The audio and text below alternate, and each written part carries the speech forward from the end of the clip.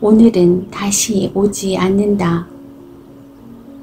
오늘은 당신의 남은 생애의 첫 번째 날이다.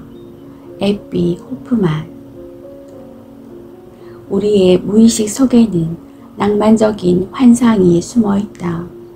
우리는 자신이 대륙을 가로지르는 긴 여행을 하고 있다고 생각한다.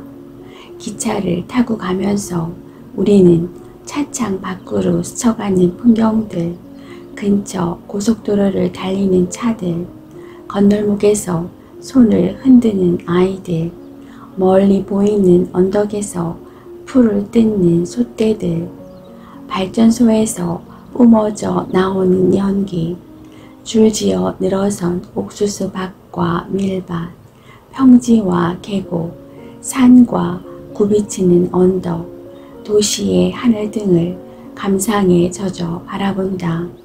하지만 우리 마음이 온통 쏠려 있는 것은 종착역이다. 어느 날, 어느 시간에 우리는 역에 도착할 것이다. 악단이 축하 음악을 연주하고 깃발이 바람에 나부낄 것이다. 일단 우리가 그곳에 도착하기만 하면 수많은 멋진 꿈들이 실현될 것이고 우리 삶의 모든 조각들이 완성된 퍼즐 맞추기처럼 정확히 제 자리에 들어맞을 것이다. 우리는 초조하게 기차 안의 통로를 서성이면서 시간이 너무 느리게 흘러간다고 불평한다. 그러면서 역에 도착하기만을 기다리고 기다리고 또 기다린다. 우리는 큰 소리로 말한다. 역에 도착하기만 하면 그때는 다 되는 거야.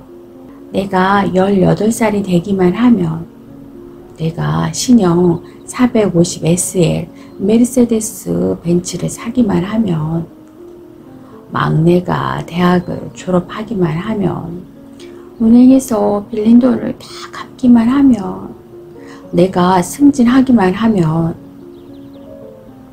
직장에서 은퇴하기만 하면 그때부터 난 멋지고 행복한 삶을 살 거야.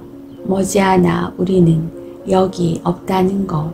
다시 말해 최종적으로 도착하는 그런 장소는 없다는 것을 깨닫게 된다. 삶의 진정한 기쁨은 여행에 있다. 역에 대한 생각은 단지 하나의 꿈에 지나지 않는다. 역은 언제나 우리보다 훨씬 앞에 있다. 지금 이 순간을 살라. 이것은 더없이 좋은 좌우명이다. 특히 성경의 시편에 적힌 다음의 구절과 함께 읽는다면 이날은 하느님이 만든 것이다. 그러므로 우리는 이날 즐거워하고 기뻐하리라. 사람들을 제정신이 아니게 만드는 것은 오늘 짊어진 짐이 아니라 어제에 대한 후회와 미래에 대한 두려움이다. 후회와 두려움은 우리에게서 오늘을 빼앗아가는 2인조 강도이다.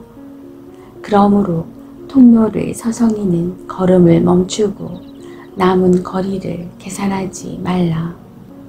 대신 더 많은 산을 오르고 더 많은 아이스크림을 먹고 더 자주 맨발로 다니고 더 많이 강에서 수영을 하고 더 많은 저녁 노을을 바라보라.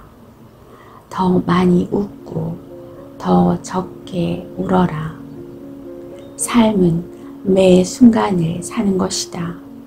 그렇게 살다 보면 머지않아 그대 앞에 여기 나타날 것이다.